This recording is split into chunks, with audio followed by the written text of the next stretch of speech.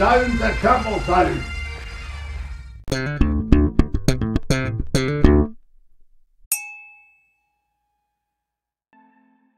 Hello and welcome to another Whiskey Review with me, the Whiskey Novice. Thank you for joining me as per usual. It's great to be back for the start of another new series. This one I am calling Back Down to Campbeltown, or if my Scottish friends aren't insulted, Back Down to Campbeltown.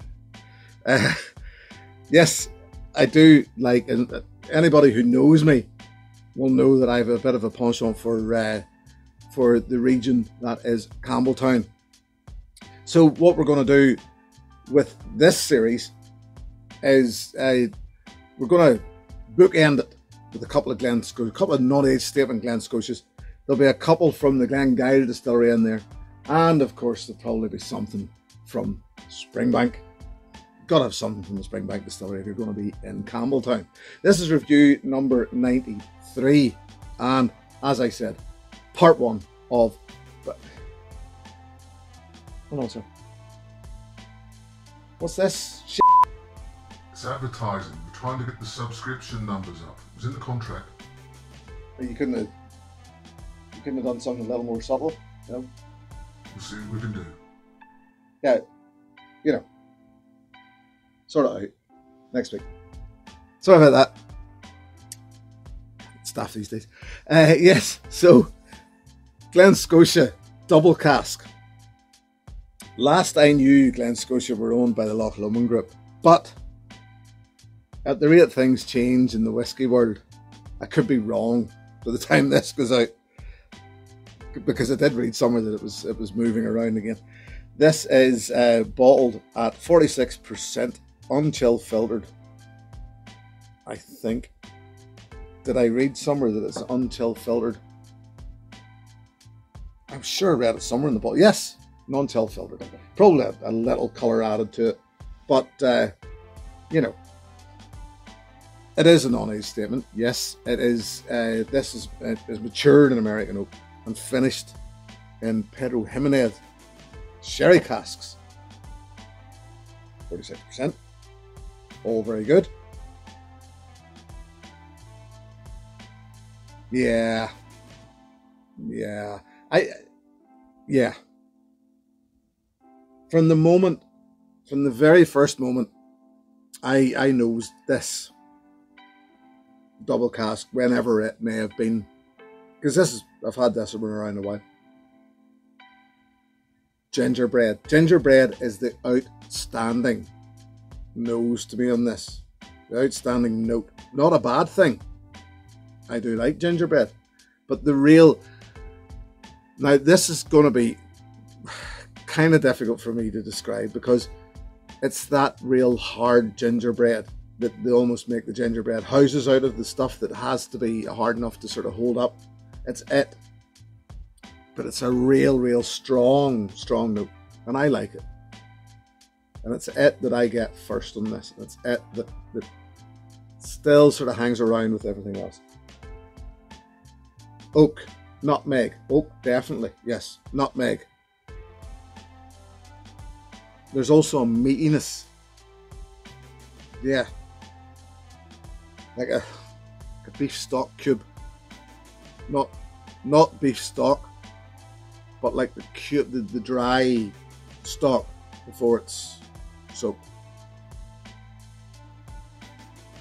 There's a slight hoppiness, like a real ale. There there is a hint of that sherry, that dried fruit, that sherry dried fruit from your your finish, your Pedro Ximenez finish. A bit, but only a hint. It, it plays along with everything else. Yeah, and once that gingerbread starts to settle out, it starts to become creamy, sweet, creamy.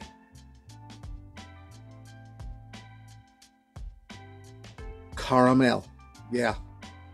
There's a fruitiness apricot. This is what I liked about this, and what I continue to like about this is it's a bit exceptional. It's a bit, it stands out from the crowd. It doesn't just act like every other whiskey out there, and in a good way, very much so in a good way. So into the palate.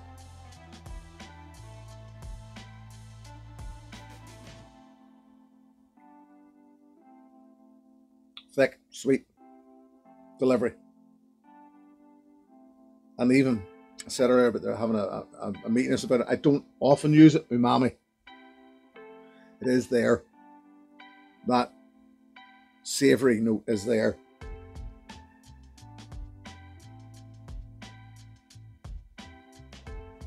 Dirty, it's oily. Peppery, gingery, hot.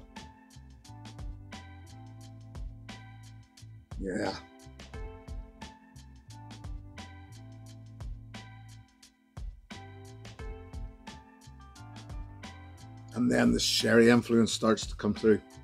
And it's great. It works really well with that gingery, peppery heat. And it's just, oh yeah, definitely. Oaky spiciness, yeah. Sorry. I forgot you were there.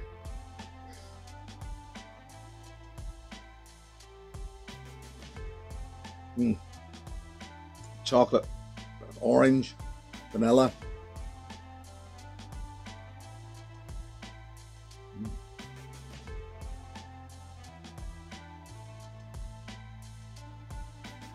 Dark chocolate, dark chocolate and raspberry together. Slightly sweetened cereal. Yeah, yeah, yeah. I do like this. It's this is the 30 to 40 price range. Yes, it's a non-age statement. It's 30 to 40 pounds. It's non-chill filtered. It's 46%. Pretty much ticks a lot of those boxes. And I just think it's a bloody good whiskey. Hmm. And gets better. Finish sort of medium to long. Ginger still memories of that dark chocolate and raspberry, which I really like. And, and I've had this bottle from here to here. That gingerbread thing never left it. Never. So when you go back in, the first note I get on the nose every time is the gingerbread. But the chocolate and raspberry came along later. I think the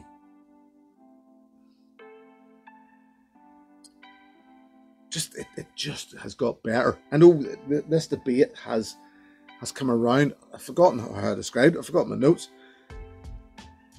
The debate has come around about air. It comes around, keeps coming around. Neck pour, over the shoulder, etc. With the air getting into it, and I think this ball is getting better and better. The gingerbread thing settles out of it tends to do that in your glass anyway. But it just has got better as it has went along. I've added a little water. And it didn't really help the nose much. It goes a little rubbery. And a little bit artificial. It takes the, the it takes that gingerbread thing away from it, and unfortunately it doesn't help.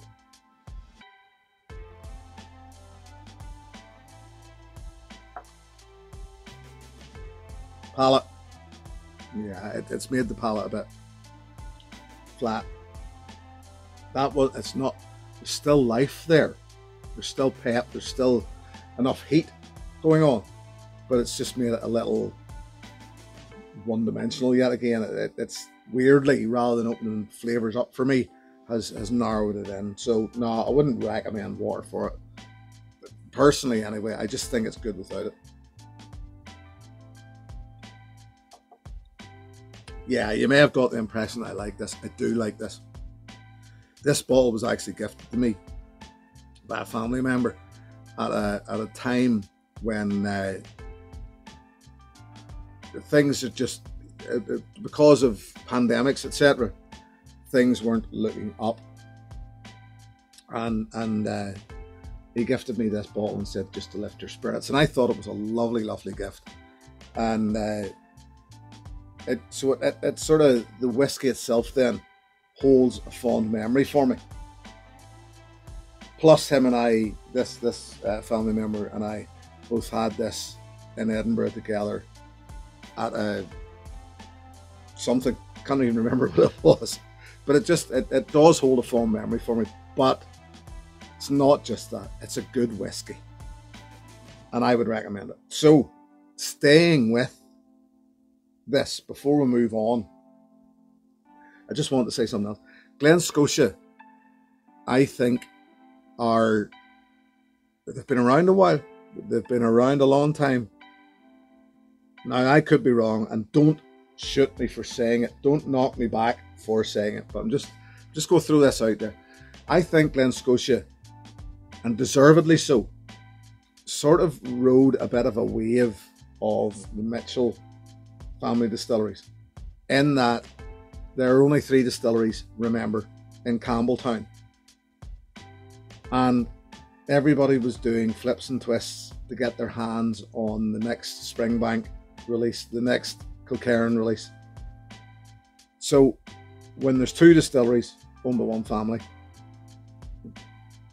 are getting constantly chased, well then I suppose people started to look and go, well, what else is in Campbeltown? Well, there's only Glen Scotia. I wonder what their whiskey's like. And to me, I could be wrong, but to me, Glen Scotia stock has just shot up. But it's not just down to, by any means, not just down to Mitchell family's success. It's down to good quality whiskey.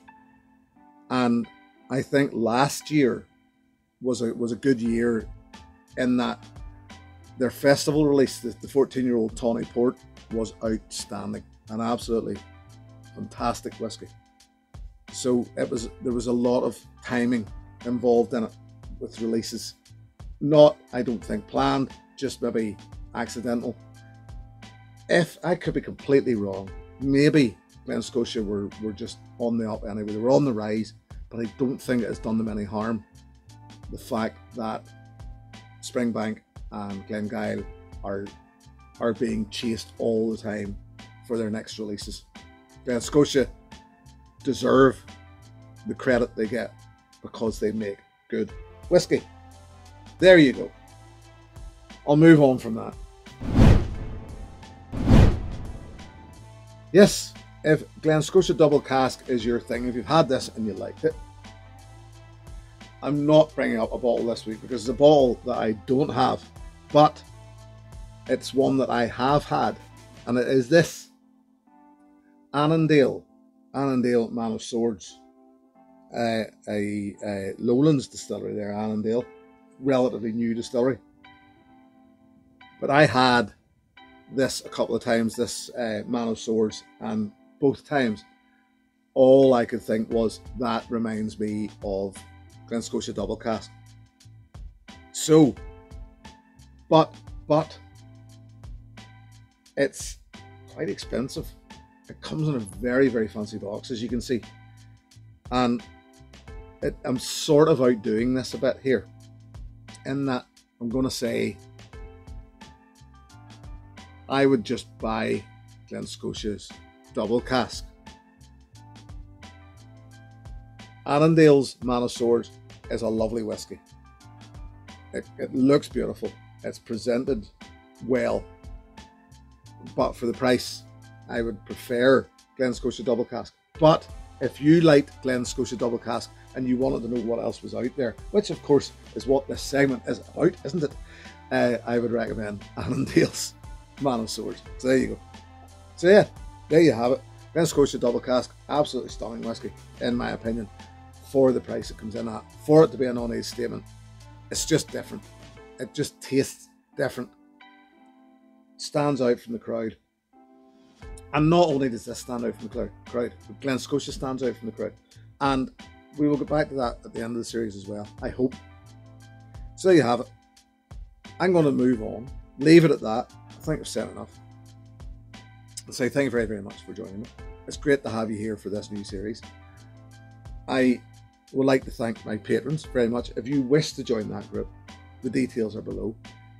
Any any pledge that comes in from patronage goes back into the channel in some shape or form. It all goes back into the Whiskey Novice as a channel. And I thank my patrons very, very much for that. There you have it. Until the next time, my friends, here's to good health. Cheers. Hey, thanks for watching my video. Please click and subscribe to be notified of further content.